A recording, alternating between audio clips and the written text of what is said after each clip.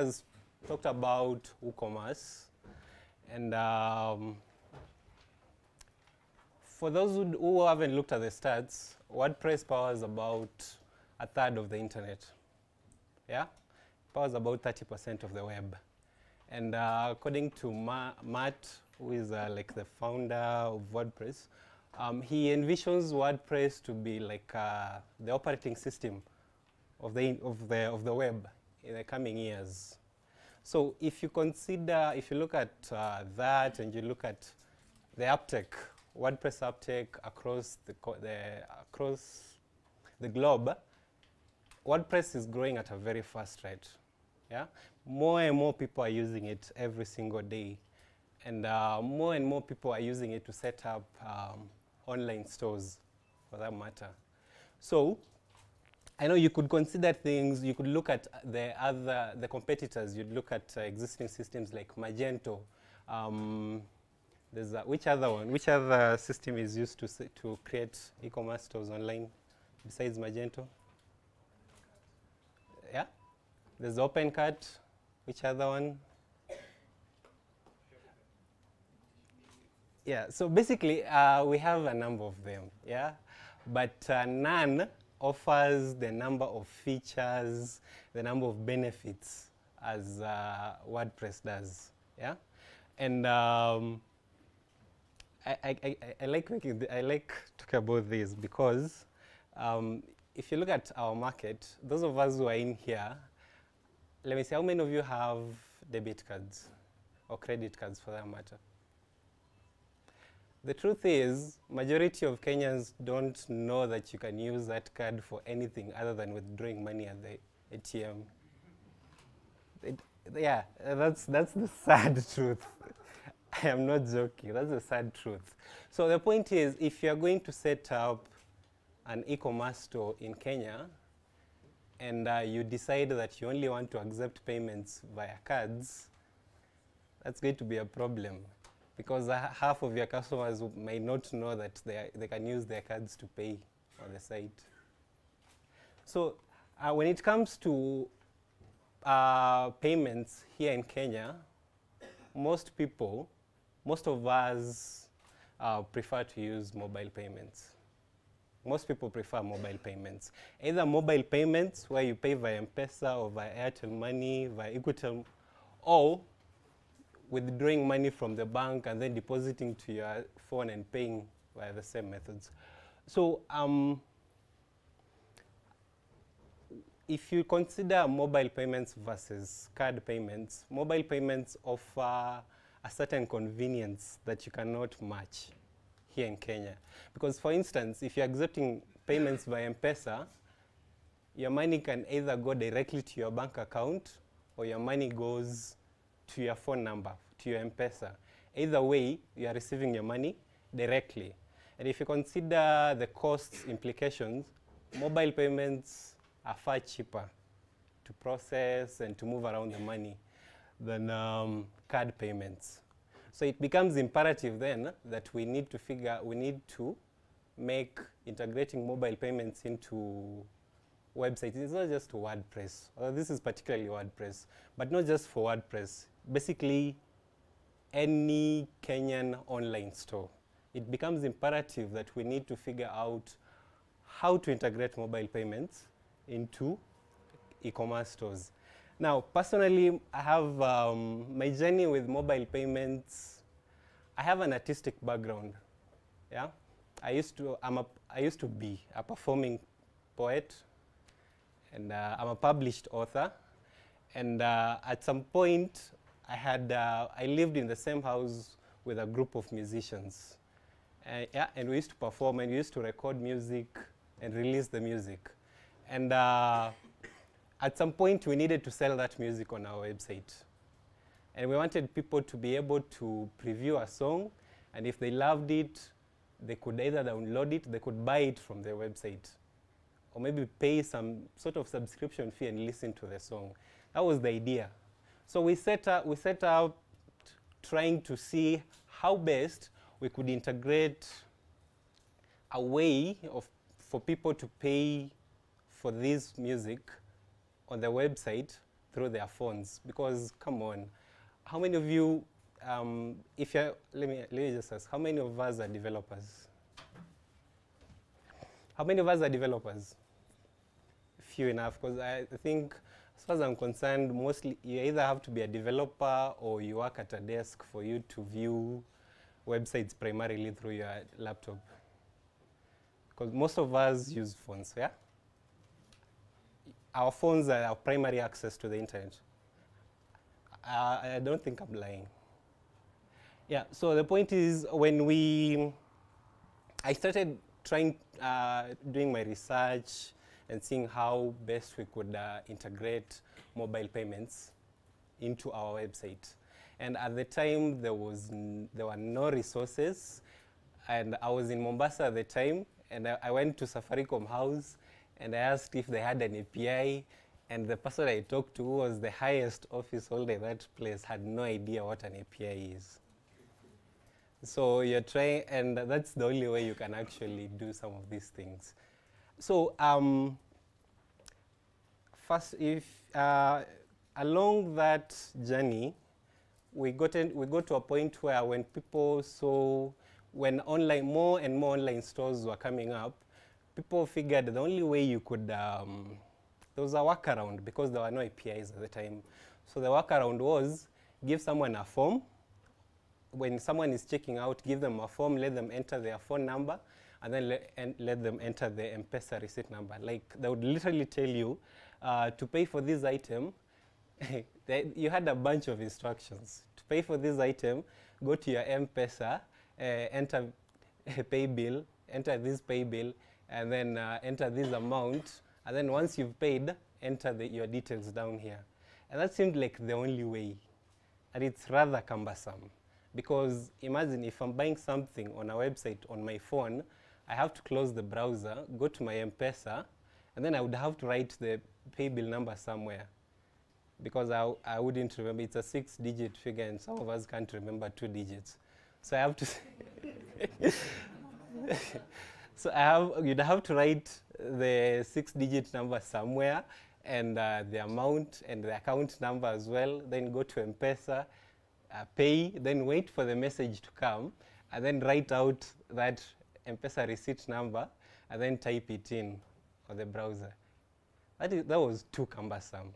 What we were looking for was a, a way we could simplify that, even if it's not just reducing it to a single step, but basically make it more convenient for, for customers who are paying. So what we envisioned was we need you to, because there's something called STK push, SIM toolkit push. That's uh, like when you're buying Airtime, when you dial something like star 100 hash, you get a pop-up, yeah? And then you have options. Enter one to do one thing, enter two to do this. That's called STK, yeah? yeah? So we figured if you could do that for payments, because uh, if you look at the M-Pesa process, the normal process, the final process involves you entering your PIN number, yeah? And, but the previous processes before that just involved you entering some data which is already available elsewhere. So we figured how about if you could just have a system that provides this other information so that all you have to do is enter your PIN.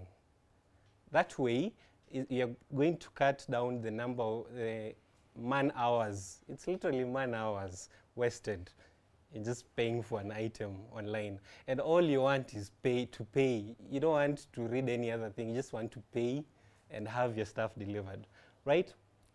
So um, in 20, late 2015, um, that's when, when did Safaricom um, move their servers from Germany? Anyone who is aware of that?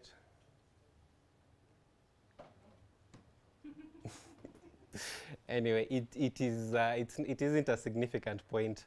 But um, after Safaricom had moved their servers, uh, we sort of had more access to M-Pesa.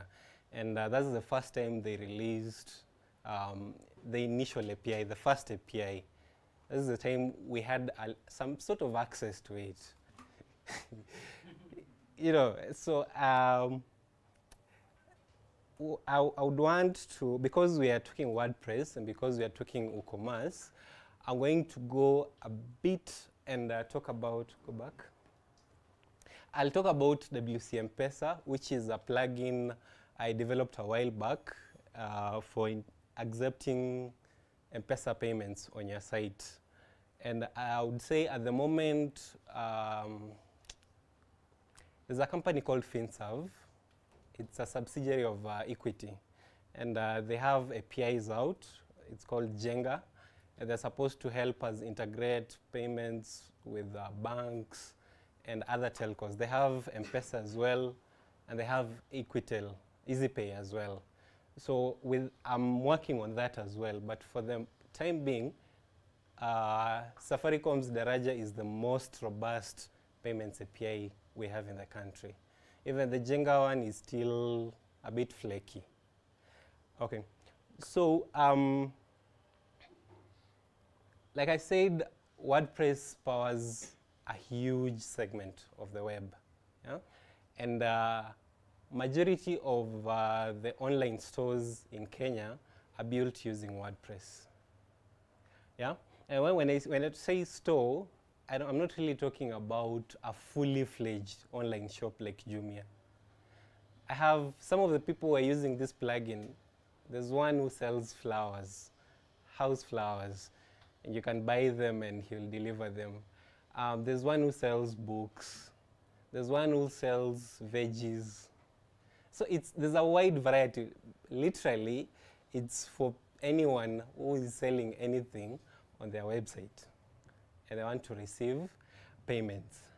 So there are other plugins that allow you to sell stuff online, but I think Jeremy went through this and he said, I would vouch for WooCommerce. There's no point setting using any other. WooCommerce is the only one that's worth exploring. Okay. And uh, now that WooCommerce was bought by Automattic, which is a parent company of WordPress, you can be assured that it's going to be developed uh, more. So um, in a nutshell, WC M-Pesa is just a simple plugin that allows you to accept M-Pesa payments on your site. So um, tomorrow we have uh, Developers Day, and I think after that, this plugin will be available on the plugin repository. So you'll be able to install it from uh, the WordPress dashboard. But uh, at the moment, the plugin is available on the website, and the website is here. It's uh, wc-mpesa.osen.co.ke. Um, I don't know if we have internet, but you, you can view the website. The website has pretty much all the details about the plugin. It also allows you to test the plugin from the site. So you can buy a test product and uh, you can uh, pay for it. So what, what, the way this plugin works, um, you have to configure it. Once you install it, you have to configure it. Uh, I would expect um, there are prerequisites to use this plugin. I told you about Daraja, which is a developer portal by Safaricom. You're supposed to create an app there. And the reason you need to create an app on Daraja is because you, you are dealing with M-Pesa. You're dealing with money. And uh, our laws are structured in such a way that there's, too much red tape. So for us to validate that you are a proper user, you need to create an app on Daraja. So once you create an app, of course you need a shortcode. A shortcode is either a till number or a pay bill. I would really recommend you getting a pay bill over a till number because one, pay bills, um, till numbers are free, people pay for free. So you are not, uh, for till numbers people pay for free and you're going to incur all the costs. And then at least with pay bills, if you're getting a pay bill, you, the costing model depends on the kind of pay bill you want. There are pay bills where the customer foots the whole bill. Yeah, there are pay bills where they charge as much as 50 shillings to, for a transaction. Then there are pay bills where you split. So there are pay bills where you pay, you buy something on at a pay bill and you pay less than 20 shillings. And then there are those pay bills where the business uh, foots the whole bill. Like when you're buying airtime for Telkom, it's free for you, but Telkom have to pay for the costs, the transaction costs. So depending on the pay bill you get, but so you need a shortcode for that, and I would really advise on getting a pay bill over a till number.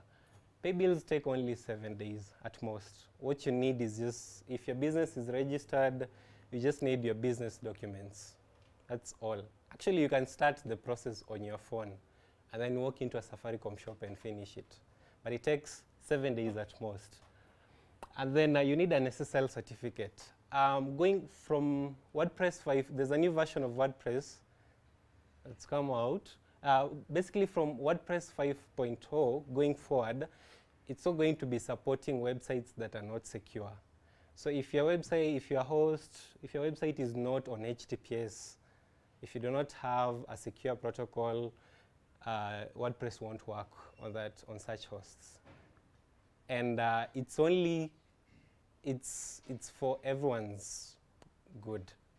Because uh, with HTTPS, all the information that is uh, moved between uh, these website of yours and other servers is encrypted. So which means people can't steal like uh, data. People can't steal your customers' phone numbers.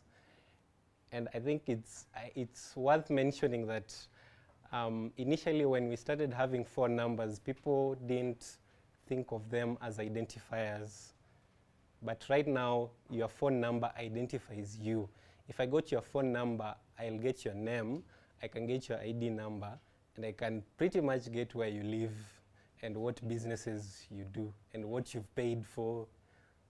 So phone numbers have become very sensitive, and now we have uh, something called the GDPR, which is a, a law in Europe that sort of uh, restricts on what kind of information you are allowed to have from your customers and what you can do with that information. And yeah, GDPR is in Europe, but it applies to any company that might have a customer in Europe.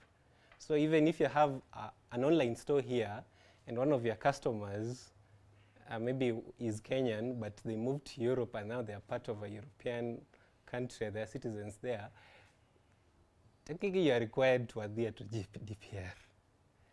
So basically, uh, for now, having HTTPS sort of uh, buffers you against anyone stealing your customer data. And it makes sure that the transactions are encrypted and they're very secure. And then, of course, you need a server. You can test on localhost, but here we are talking about online stores. So I'm, I'm thinking it's for uh, a store that already exists. It's online. And then, of course, we need access to the M-Pesa web portal. Um, M-Pesa has a web portal that allows you, when you have a till number or a pay bill, it allows you to log in and view your transactions. You can do reversals, you can do transfers. You need access to that portal as well when you're going to use this plugin. So like I said, the files are available on the website. You simply have to download them and upload them to the plugin to your admin. But after tomorrow, it will be available in the plugin repository. So you'll just go to plugins and then search for WCM M-Pesa and you'll find it. And you just install it from there. So once you've installed it, you need to configure. Those prerequisites I, I, uh, we've talked about, you need to um, configure them here. So of course, it's, uh, you need to enable the Lipa na M-Pesa, then you can edit the title, how you want it to be seen when the user checks out. Now, uh, the environment bit, uh, when Safaricom Daraja allows you to test your app before going into production. It allows you to test to see whether it's working first. So you can test with uh, some little amounts and then they are, they are usually refunded by the end of the day. So when you say there are two types of environment. There's sandbox for testing and then there's production or live when you're in production. That is uh, when you're live, basically. So you need to set the environment. I would suggest you try with uh, the sandbox first because uh, there's no point deploying an app that you're not sure it works, right? Yeah. And then identifier type, um, Safaricom has, M-Pesa has a, a number, it's quite an array of identifier types, but generally what, what is important to us here is um, pay bills for, in our case, pay bills have the identifier type of four, just number four. And then uh, till numbers are probably six, I think. No, till numbers are two, and then uh, phone numbers one.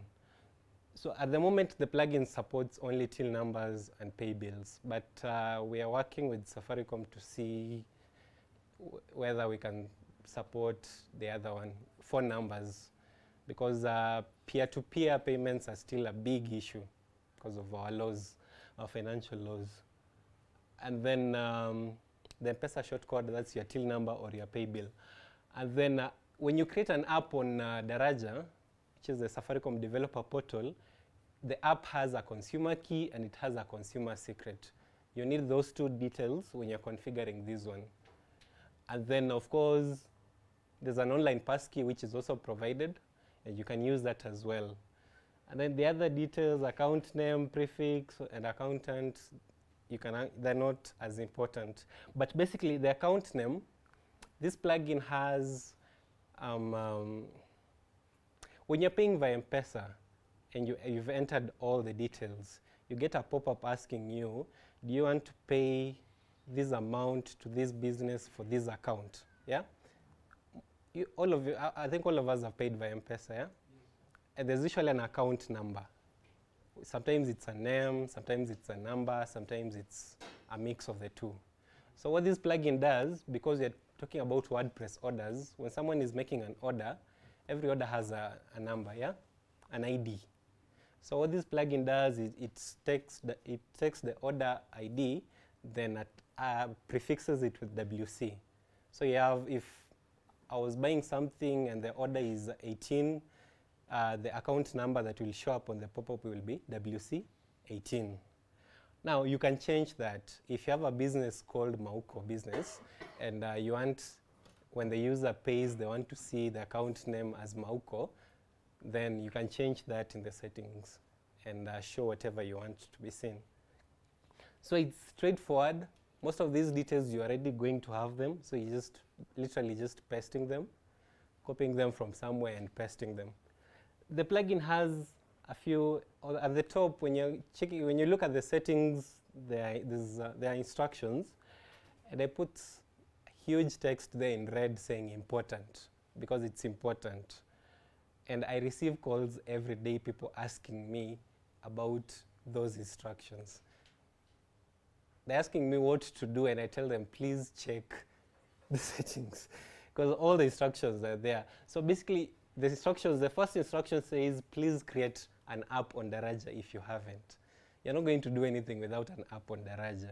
Two, for security purposes and for the IPN, instant payment notification, to work, your site has, your site has to, to run over SSL. That means it has to be secure. And then uh, you can register confirmation and validation URLs, which are not as necessary really. And then when you're in Sandbox and you want to test, there's a link there saying you can test, you can generate Sandbox test credentials here. So if you need credentials to test, like you need a pay bill number to play around with from Safaricom and you need um, an online passkey to play around with. If you click that link, you'll get those details. So it's just a matter of copying them and pasting them in the settings. So once you've configured the plugin, the plugin does pretty much everything else for you. That's all you have to do, literally. The configuration, that's all you have to do.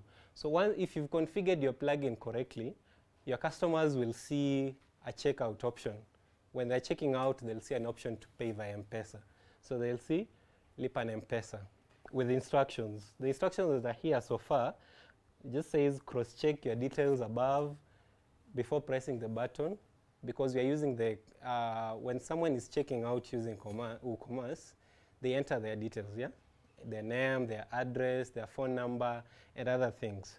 So basically these instructions just say cross-check your details to confirm that they are correct before pressing the button. And then it says that your phone number must be registered with M-Pesa. Of course, if you're deducting M-Pesa, the phone number has to be registered. And then uh, it says you'll get a pop-up on your phone asking for your, asking you to confirm the payment. Enter your M-Pesa PIN to proceed, and then you'll receive a confirmation message shortly. These instructions, you can also alter them in the settings. You can change them to whatever you want. If you feel like they're too rigid, you can change them to whatever you want. So our customer wants to pay via M-Pesa, buys a product, adds it to cart, and then checks out, goes to the checkout page, then finds there's an option via to pay via M-Pesa. Selects that option, and, and then presses the button to, to, to place the order. So what happens here is that once they press the button, there's a, the STK push comes on top of the phone. So that is, uh, remember when I said about how you in the past you had to leave the web browser to go to M-Pesa.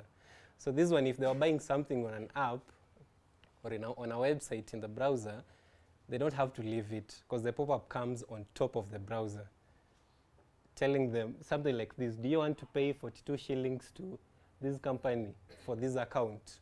Enter your PIN. So the, the customer enters the PIN, presses OK, and that's all it's, that's required from them. So once they enter the PIN, um, M-Pesa processes the payment, deducts the M-Pesa processes that payment, deducts the money, and the plugin will process your order. It receives uh, details from Safaricom, from M-Pesa, and it will update your order with the receipt number. So there's no need for the customer to come back and enter that receipt number because the plugin already handles that for you. So if you look at this, it has it simplifies, uh, it makes it convenient for both you as the seller and for your customer because now your customer only has one step, one for payment, just one step. They only have to enter their PIN. And for you as uh, the seller, uh, your order will be processed and you'll, receive you'll have the M-Pesa receipt number.